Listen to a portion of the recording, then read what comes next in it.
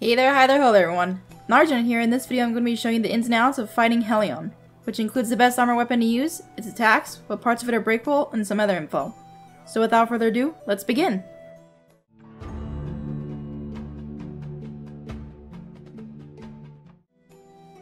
Hellion is a blaze behemoth, so the best weapon element against it is frost, and the best armor is blaze. When it comes to weapons, my personal favorites to use are the axe and pike.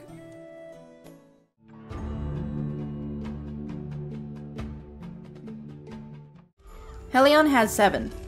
The first one is a charge attack. The second one is where it swings its tail. The third is where it scrapes its head across the ground. The fourth attack is where it falls onto its side. It only does it when you're close to it. The fifth one is where it jumps and then slams its tail down.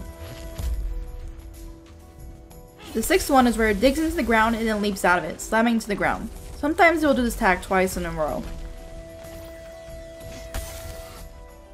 The seventh one is where it paws to the ground. It only happens when you attack its legs.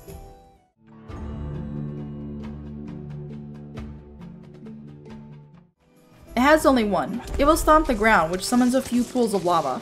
If you walk in it, you will catch on fire. Do a dodge three times and it will put it out.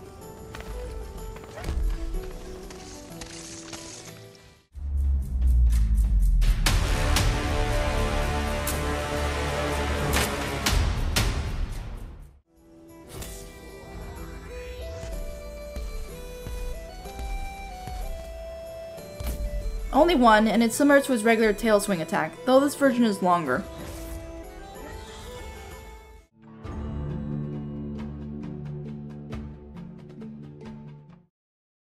Ha, none.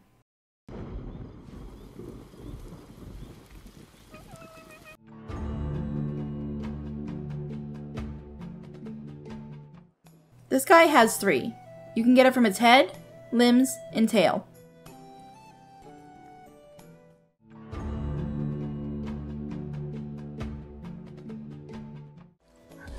Break a handful of Hellion's scales when they glow. That way when it enters its Aether Charge state it will drop molten orbs periodically, which will make you immune to fire as well as increase your attack and movement speed. The best weapons for this job are repeaters, chain blades, and then the pike.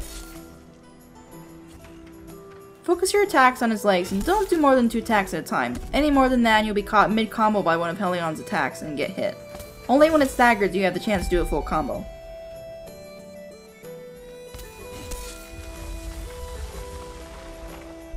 Hellion has a low threshold for stagger damage, so if you're using a hammer or axe, focus on its head instead of its legs. If you break off Hellion's tail, it will spawn a whole bunch of molten orbs.